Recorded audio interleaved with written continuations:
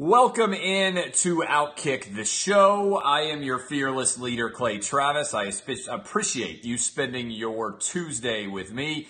Go to Oddshark for all of your gambling and informational related needs. And, and boys and girls, if you need a mortgage, wherever you are in the country, if you are not getting a great rate and getting hooked up by the sponsor of the anonymous mailbag, thehomeloanexpert.com, you are wasting your life. Go there today, just in time for the holidays. I'm here to tell you right now, I know how difficult it can be. I once was poor myself. I know how difficult it can be to make the mortgage payments and take care of everybody with the travel, the presents, all of the other unnecessary expenses that are out there.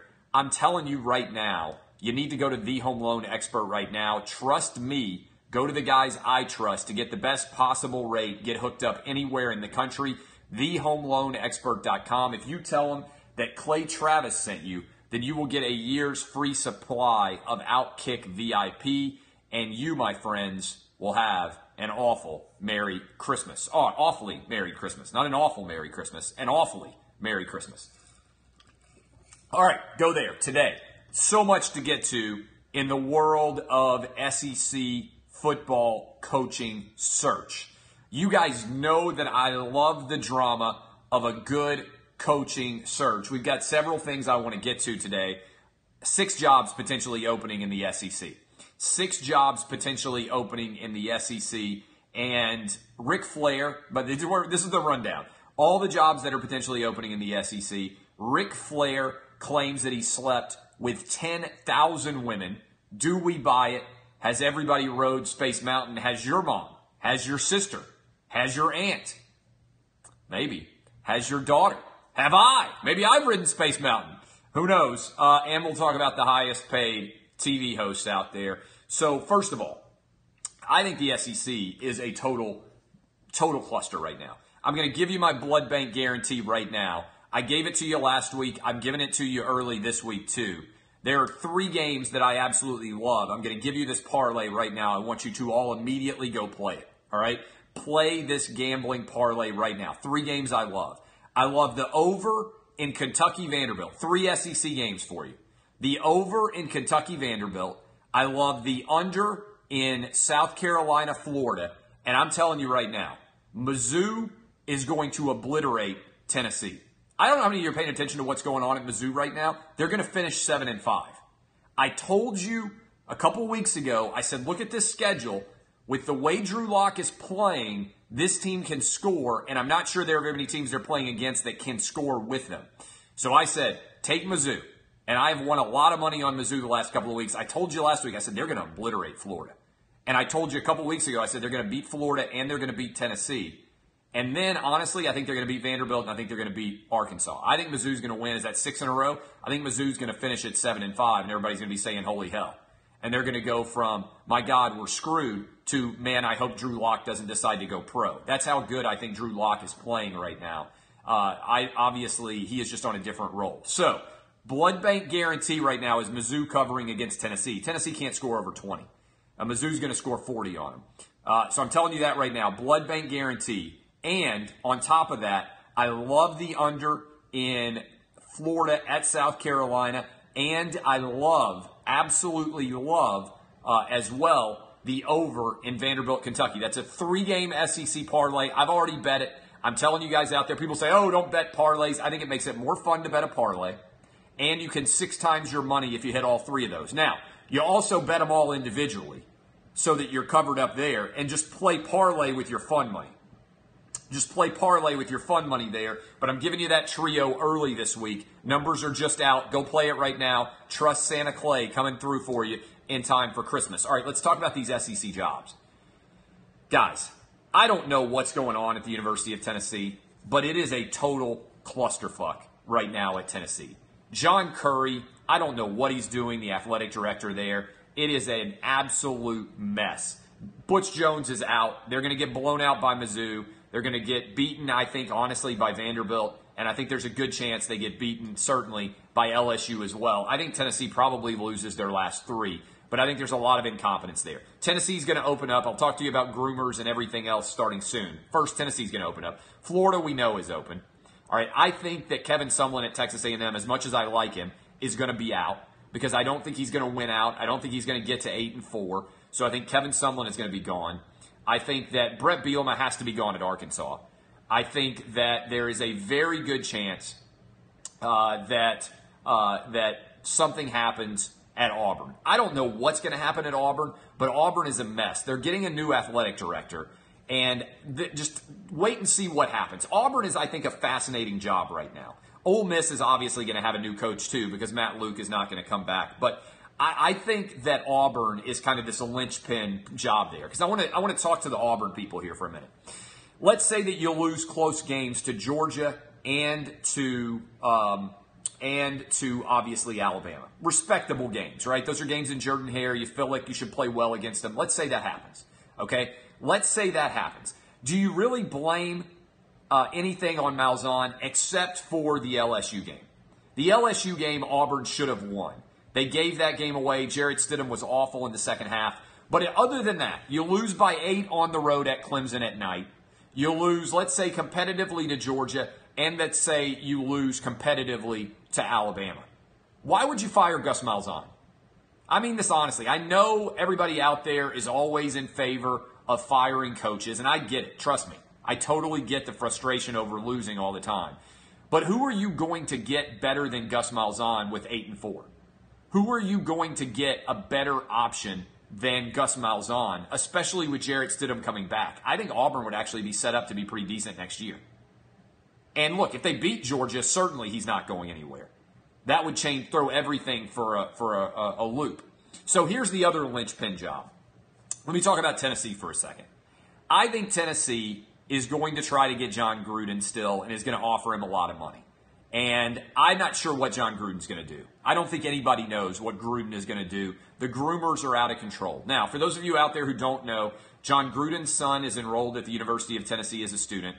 His wife's a former cheerleader. His in laws all live in East Tennessee. If I were sketching out the reason why Jon Gruden would make sense, okay, the reason why Jon Gruden would make sense is this he's 54 years old. At some point in time, most television announcers decide, I don't want to do this for the rest of my life. Now, certainly that has happened before. If Jon Gruden is going to turn into John Madden, then totally I get it. I get that he's, his legacy is going to be I won a Super Bowl and then I went into television and I was very good at it and I did it for years. Okay? I understand that argument. But most people want new challenges.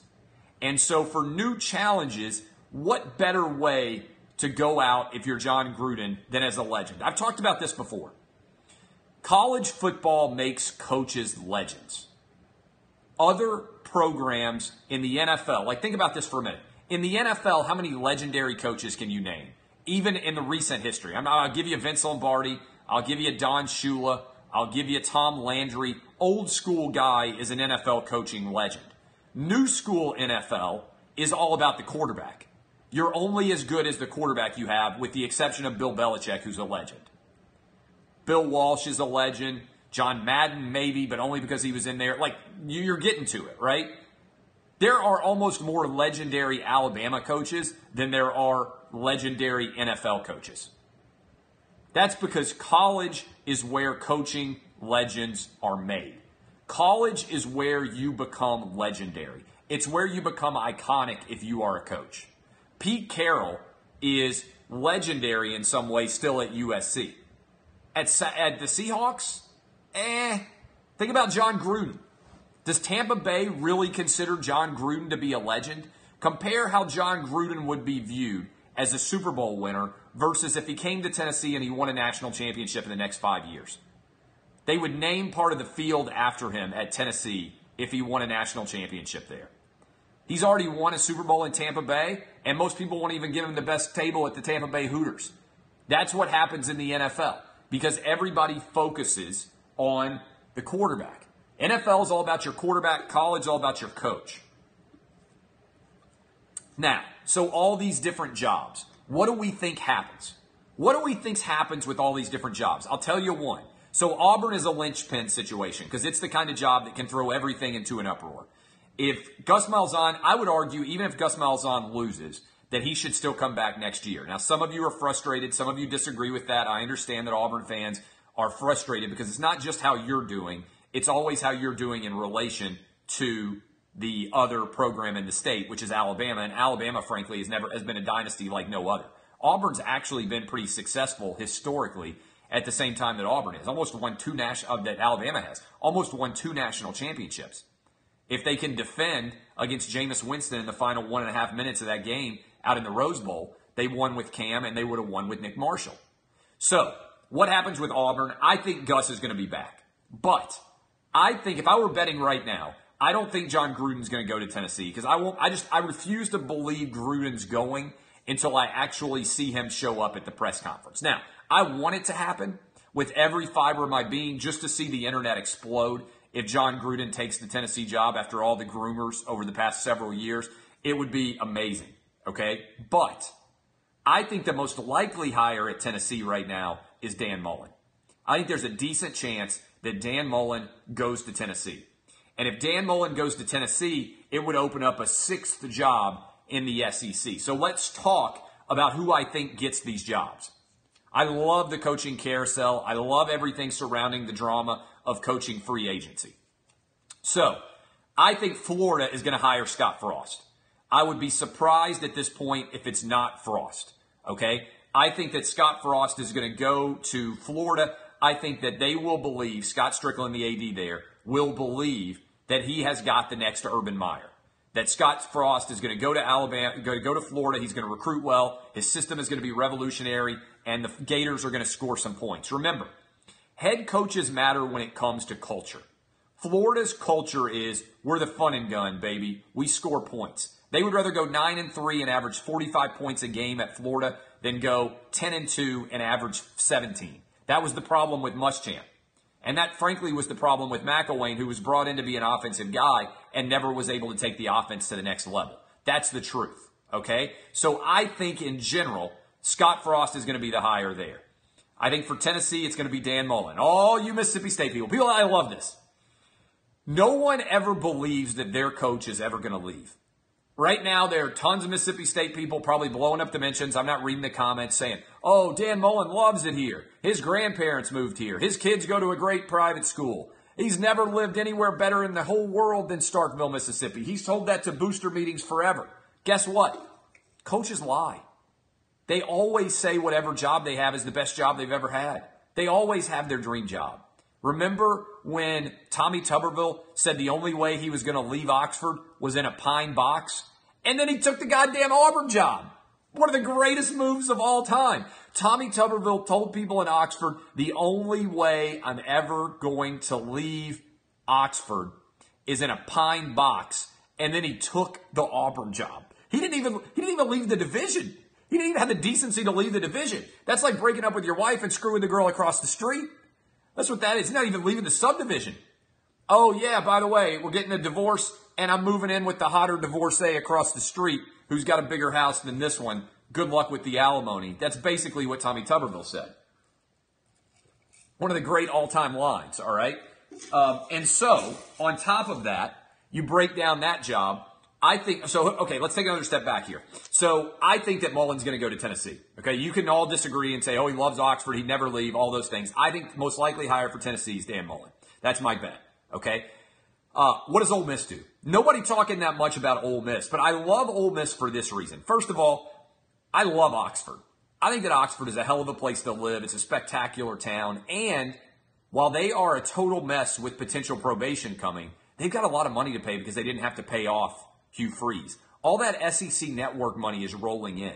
So I'm actually really intrigued to see who jumps at the Ole Miss job because I think they'll pay somebody $5 million a year and give them five years guaranteed, which means you know you just signed a contract for $25 million. And it is always on some level about the money. I'll be honest to you guys. You pay me enough money, I'll do anything. I've said this before. I'm a straight man. If you paid me enough money, I would do gay porn. Not because I would enjoy it, but because everybody works for money on some level. I don't know what my porn number is, but I believe that every single male or female in this country, there is a dollar figure that you could pay that would make them do porn. All right? I don't know what that number is, but every single person in America, person you can't trust, person who lies and say they don't have a porn number. I'll be honest with you. My wife would be like, what? They, they're going to give you $20 million to do gay porn? You better do it. You better suck that dick. You better do it for the family. That's the truth. All right? So everybody has a porn number. So coaches do too. They'll go anywhere if you pay them enough money. That's the whole purpose of the dump truck theory. All right? So, what does Ole Miss do? It's the ultimate test because I think they'll have to pay a lot of money given the fact that they have the probation. I think they will have to pay a ton to get somebody to roll in there and take over that program. Who's going to do it? It's a fascinating question. I think the most about the Ole Miss job, and I'm sitting around like trying to sketch out who makes sense for Ole Miss. Les Miles would kill for it. All right. I don't think Les is going to get a big time job. So I don't think Les Miles is going to get the LSU, the Ole Miss job. Uh, I think a lot of people are going to look at Les and say he's too old. They don't want somebody on the sideline who is that erratic. If you couldn't win consistently and dominate people with LSU talent, why are you going to come to Ole Miss and be able to do it? I think it's a good question. So I am totally fascinated to see what Ole Miss is able to pull because that to me is the ultimate test for what money will do. And I'm not sure what the answer is. It's a crazy idea for you. It's an absolutely crazy idea that you may think is insane. Got to take my drink. What if Kevin Sumlin got the Ole Miss job? Some of you may be like, no, that's crazy. What's it? What that to me is kind of an intriguing move. What if Ole Miss decided, you know what, we're looking around the league and we don't think we can do better than Kevin Sumlin? Just tossing it out there. The, the comments suddenly went went dark. Everybody's in stunned silence. Just kind of intrigued by it. Here's another name that I'm intrigued by that I think you could probably get if you paid him enough money. Mike Leach. I think if you went out, if you are Ole Miss and you went out to uh, to Washington State, you would say, look, Mike Leach, you have won at Washington State. You have won at Texas Tech. Those are absolute backwater coaching destinations. What if you came to Mississippi, a place that loves its eccentrics, a place that absolutely loves all of the zaniness? If you watch a Mike Leach press conference, that guy is an absolute riot. Tell me why Mike Leach in Oxford, right there by Rowan Oak, right there by William Faulkner, would not be a perfect fit in Oxford. They would love his eccentricities. He would love that little town. He would walk around. He could study all these different things. I could see him getting into Southern fiction and reading everything. I think he'd win at a pretty high level. I think that would be a hell of a, a hell of a hire for the SEC and for Ole Miss. So that's my suggestion there. About Arkansas. Arkansas, I'm going to tell you this. I would do this if I were Arkansas. I would go get Lane motherfucking Kiffin, and I would have him bring Kendall Briles with me back to Arkansas, and I would roll the dice that Lane Kiffin could get it done at Arkansas. Let me explain why. When Arkansas hired Bret Bielema, my question in general about the decision to hire Bielema was, are you really going to bring in a guy who runs a pro style offense and think that he is going to beat out Nick Saban and at the time Les Miles with inferior players.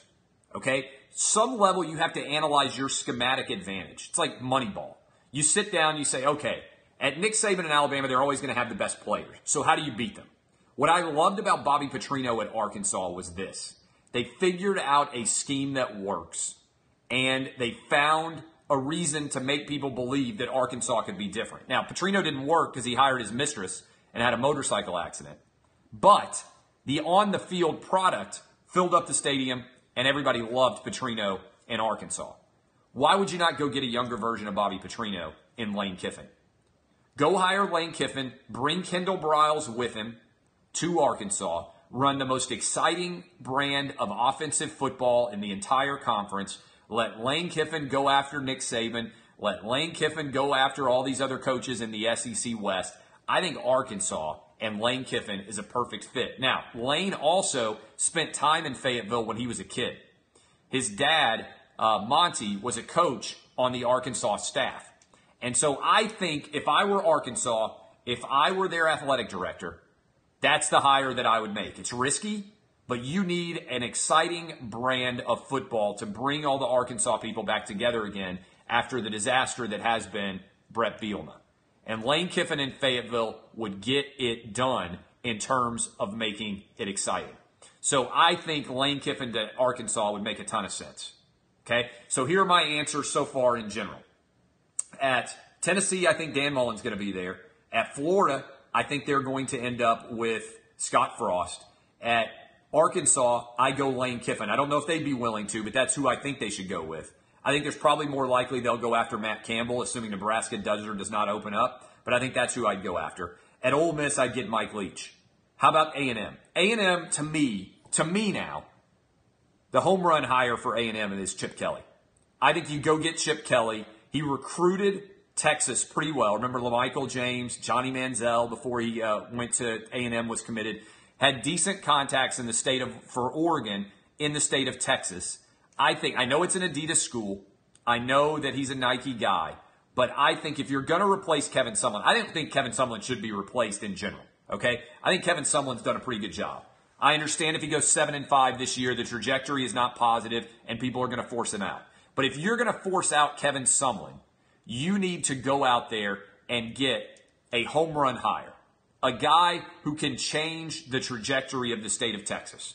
Right now, Tom Herman is going to be recruiting well. You need to go get Chip Kelly. You need to surround him with a bunch of recruiters, and you need to say, Chip, go to town, score some points, baby.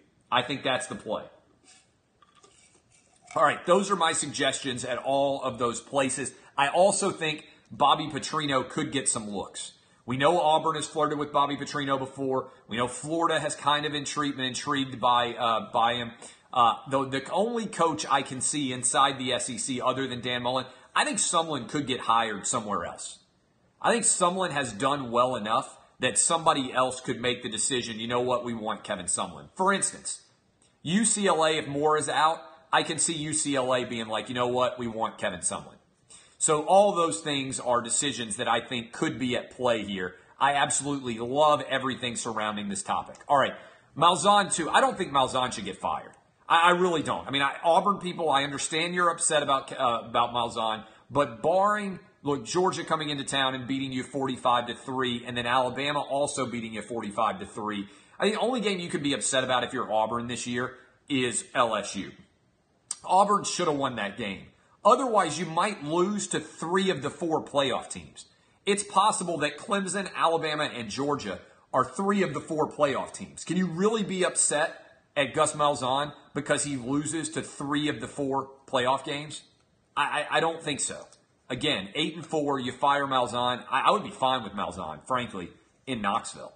I think that I would be very comfortable with Gus Malzahn in Knoxville because I think he's just a good quarterback away from winning at a pretty high level. And if he got to coach in the SEC East, I feel like he would do pretty well. Remember, this guy almost won a national championship. And frankly, should probably give him credit for the national championship that Auburn won in 2010. Uh, biggest name willing to take the Ole Miss job? That's a great question. Oh man, I love this kind of these kind of questions.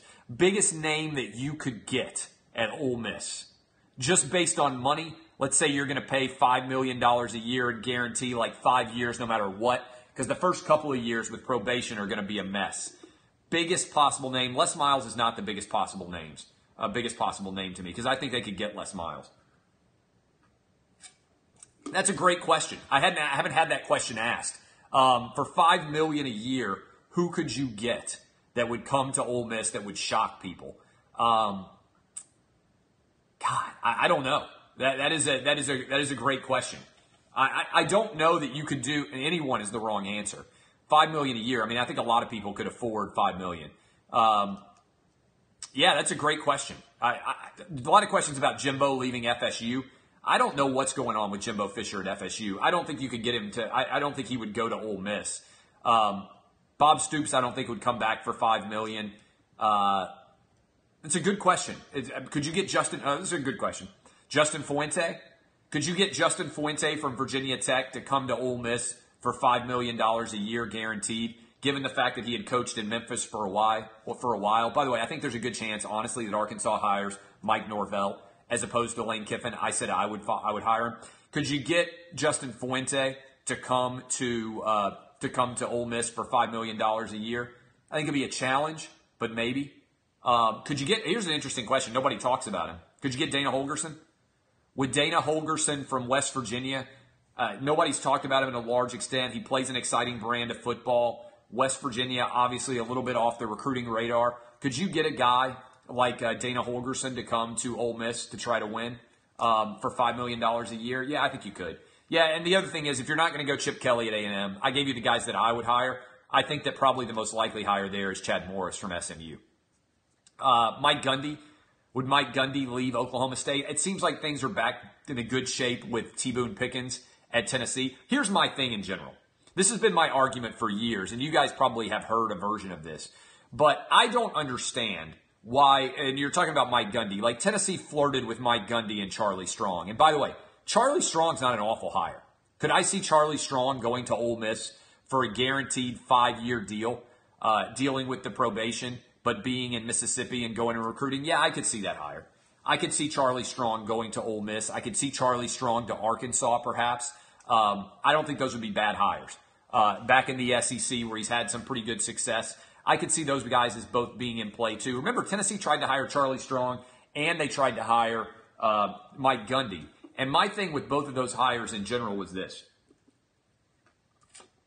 And this, I would say, is a lesson for you too. If you love something, don't allow a small amount of money, relatively speaking, to keep you from getting what you love. To wit, let me explain. If you thought that Charlie Strong was worth $3.5 million a year, but he thought that he was worth $4.5 million a year, the difference of paying him an extra million dollars a year is minimal in the grand scheme of things if he wins. So if you're convinced that you've got the right guy, don't allow yourself to be priced out of the market by a million dollars. I've seen Tennessee do this a bunch. They went and talked to Will Muschamp. Will Muschamp wanted too much money, so they took Derek Dooley. That's fine. I like Derek Dooley. He's a friend of mine.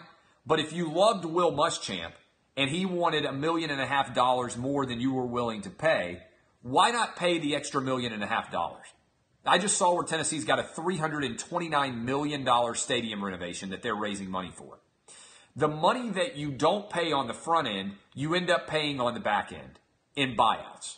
So why would you think you're saving money and say, oh, we got our coach for $3.6 million and we didn't overpay? To me, you cannot overpay for a coach, just like you can't overdraft for a quarterback. Remember back in the day, uh, if you traded everything, let's say, for instance, if Tennessee, the, the Titans, when Peyton Manning was about to come out, if they had given up every draft pick for two years to get the number one pick and they got Peyton Manning and he had turned into Peyton Manning, the value to the Tennessee Titans of having Peyton Manning would have far exceeded the loss that they took over the two years worth of picks they would have given up. If you find the right guy, there is not any case where paying too much money is a problem.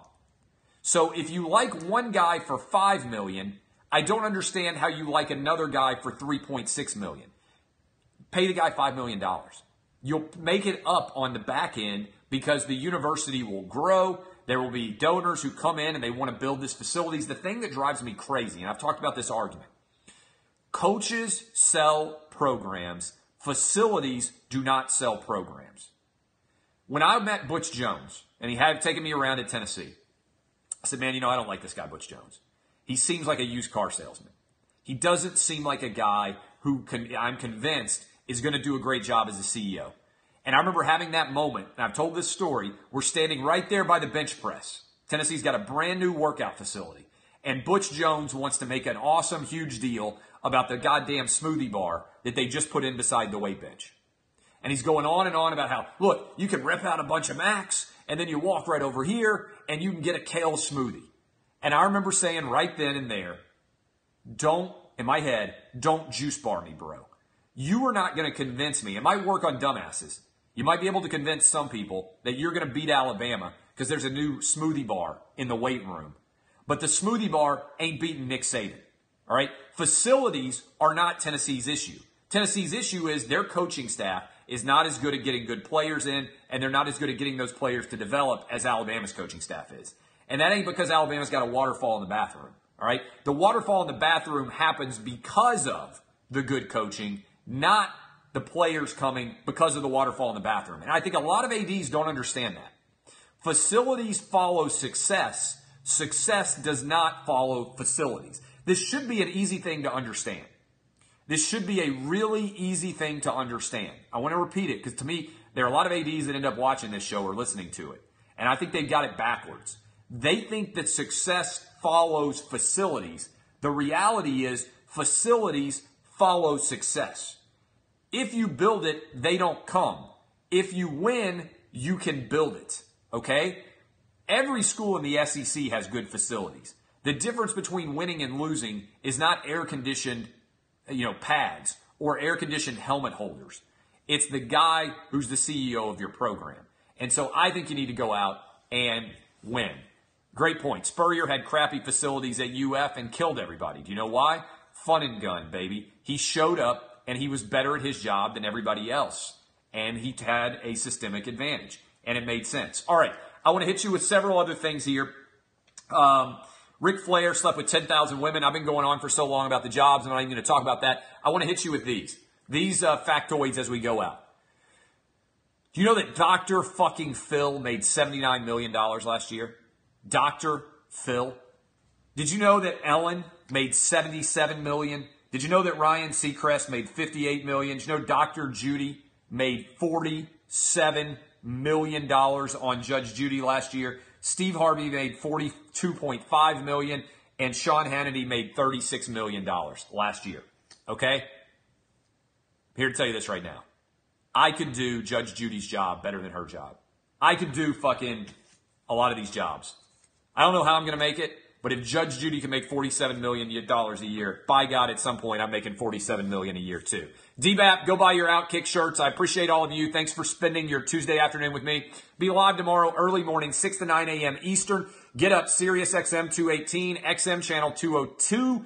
Don't be a pussy. And remember, don't get juice barred, bro. I love all of you. Thanks for the time that you're spending with me. Lots of fun to talk about, discuss. Keep me updated on all the latest rumors and all the coaching searches. I love it. It is exhilarating. Blood bank guarantee. Remember, I love this trio. The under on Florida at South Carolina, the over on Kentucky at Vandy, and Mizzou to cover minus 11 now versus the Vols. Kisses to all of you. I'm Clay Travis. This has been Outkick the Show. Go get hooked up at oddshark.com and go to the home loan expert right now and get a great mortgage. I love all of you. I'll see you. Bye.